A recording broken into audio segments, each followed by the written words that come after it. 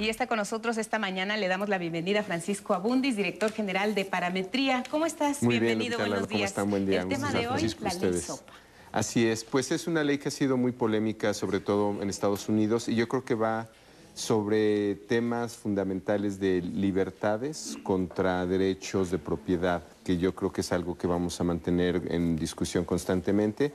Hay las dos posiciones, la libertad que tenemos de acceso a la cultura, a, través de música, videos, otras formas de, de expresión, y, la, y el derecho que tienen los autores de, de- estas obras de recibir un- una retribución por lo que hacen, que es finalmente lo que está de por medio en esta, en, en esta ley, ¿no? que se le conoce como la ley SOPA, que en Estados Unidos es donde, bueno, inició todo el, todo el movimiento, pero finalmente trasciende eh, pues a prácticamente todo el mundo de Internet, ¿no? Sí, bueno, finalmente el Internet no tiene fronteras y necesariamente tendría que haber una legislación, una regulación internacional en caso de que se quisiera aplicar este tipo de, de medidas, ¿no? Así es. Francisco, ¿midieron ustedes al número de usuarios que hay eh, eh, en Estados Unidos versus el país y, y la- la- lo que opinan acerca de las sanciones y cómo debería de ser el trato con respecto a este tema? Así es. ¿Qué, qué- qué resultados? Primero, bueno, número que validamos constantemente porque es uno que hay que darle seguimiento, que es el número de usuarios de Internet en el país.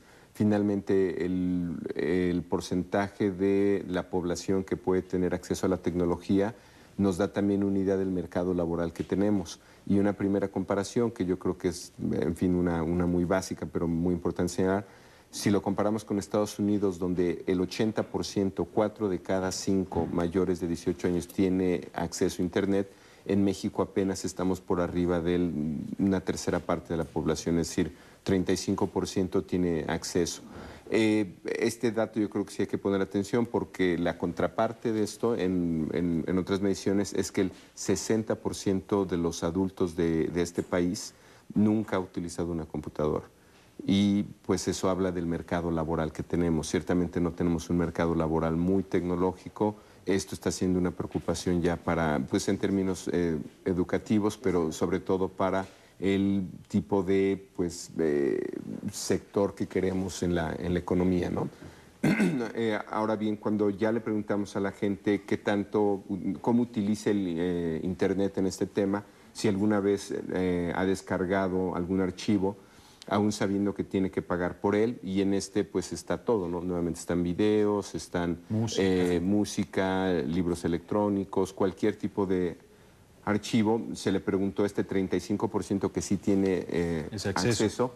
Eh, llama la atención que está prácticamente dividido a mitades, no dice c- 50% y sí 47%, pero aún llama más la atención que si lo comparamos con Estados Unidos, con este o- 80%, los porcentajes son muy similares. En Estados Unidos 54% dice no y 46% dice sí. Eh, hay que señalar que la mayor parte de lo que se baja en términos de información es música. De, de este 46%, que es similar en México y en Estados Unidos, también casi la mitad de él lo que está bajando en términos de archivos es, es, es música. Ahora bien, sabiendo que esta es una práctica que no necesariamente es legal, se les preguntó si creen que tiene que ser eh, san- sancionados por no estar, no estar pagando por el acceso que tienen a- a esta información. Y llama la atención que en México, en principio, parecemos más restrictivos. El 60% dice sí, es dos de cada tres dice, bueno, sí, tal vez este, deberíamos ¿no? de, estar actuando de otra manera, pero si lo comparamos con, con Estados Unidos, este porcentaje es ligeramente menor, 10, 10 puntos menor, 8 puntos menor, 52% de la gente dice, dice que sí. Parecería contradictorio porque en general pues sabemos que en nuestro vecino anglosajón el respeto a la cultura es eh, a, la, a la cultura y, al- y a la ley es, es mucho mayor y entonces eso sí se, se- manifiesta en el siguiente gráfico. Cuando eh, se le pregunta a estos usuarios, el 35% de los mayores de 18 años en México con acceso a Internet y a los, eh, el 80% de los eh, estadounidenses, cuando se les pregunta sobre la sanción en particular, vemos que son muy poco específicos o casi diríamos que cosas como advertencias, multas económicas o el extremo que podrá ser eh, el no tener eh, acceso a Internet tiene porcentajes muy bajos comparado con tal vez sanciones más conocidas en Estados Unidos, como vemos en el siguiente gráfico, donde el 51% dice que debería haber por lo menos advertencias, multas económicas. Este llama mucho la atención porque ciertamente es una cultura de sanciones la estadounidense. Lo vemos desde temas de tráfico, multas. De reparación del daño. No están acostumbrados a entablar juicios civiles por reparación de daño. Exactamente, exactamente, exactamente. Entonces, aunque en apariencia en México estaríamos más de acuerdo con esta ley, con la idea de tener sanciones por cualquiera que descargue un archivo de manera ilegal, al final lo que estamos viendo es que ya en el específico los estadounidenses están más claros sobre qué se tendría que hacer. La cuestión es que cuando se dio a conocer que existía la posibilidad de que esta ley progresara, todo el mundo empezó a mirar al Internet de manera distinta. Y lo que estamos viendo es precisamente estas reacciones. Si bien tú estás consciente de que estás bajando un archivo de manera ilegal, por decirlo de alguna manera, porque no es de tu propiedad, tampoco estás de acuerdo en el caso de nuestro país en que las sanciones sean eh, que te desconecten, como lo veíamos en la gráfica, o que te multen económicamente. Lo que se inclina hacia, hacia el caso de México es mejor una advertencia y ya veré yo si, este, si no reincido ¿no? en este tipo de... Eh, ahora, hay que decir que de la gente que utiliza Internet, la mayor parte del uso lo hace ciertamente para cuestiones culturales, de música o de entretenimiento, por lo menos así lo declara el 80% de la población.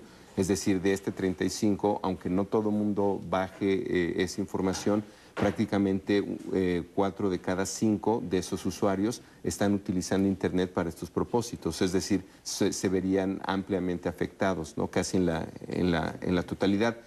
Y eso también difiere un poco de los usuarios en Estados Unidos, aunque no está muy muy bien descrito en estos gráficos, pero en Estados Unidos casi una tercera parte lo hace para cuestiones de noticias y de información y dos terceras partes lo hace para eh, entretenimiento. Es decir, sí hay diferencias en el perfil de los usuarios. En algún sentido, en México estaremos más afectados que en Estados Unidos. Sí, sin duda siempre existe este perfil, e-, esta discusión en donde si es para un uso académico, un uso informativo o un, uso recreativo, que es donde precisamente creo que está eh, el, meollo de la discusión. ¿no? Finalmente es acceso, de, acceso a información, acceso a, información que debe ser pública versus entretenimiento por el cual se debiese pagar. Así es, y aunque en México parece que la discusión no ha sido todavía tan amplia, irónicamente los usuarios en México seremos mucho más afectados que los estadounidenses. Muy bien, Francisco, pues muchas gracias, interesantes las cifras. Ahora hay que ver el curso que toma esta ley SOPA. Muchas gracias. le daremos seguimiento. Gracias, Buenos días. Buen día. gracias. gracias.